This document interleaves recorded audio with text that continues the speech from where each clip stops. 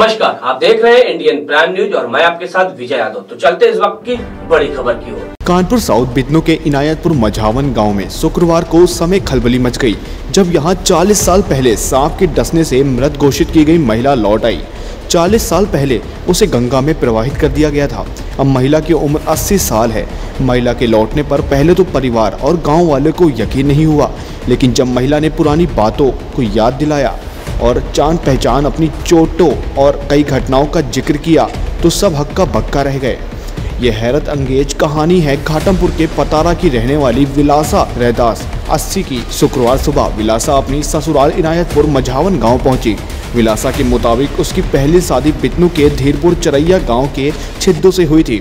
छिद्दू से बेटी राम कुमारी और बेटी मुन्नीलाल हैं। पारिवारिक कलह के चलते उसने छिद्दू से नाता तोड़कर मझावन के इनायतपुर गाँव के कल्लू से शादी कर ली थी। कल्लू से बेटे धर्मवीर, धर्मपाल और बेटी राजरानी व ननकी हैं। अब छिद्दू और कल्लू की मौत हो चुकी है। विलासा ने बताया कि इनायतपुर मझावन गाँव में 40 साल की उम्र में उसे सांप ने डस लिया था। MRI, EEG, psycho, blood profile आदि ज़रूरी जांचें फ्री कराएँगे। ये पता लगाने की कोशिश करेंगे कि ऐसे कैसे हुआ है। Bureau report, IPN.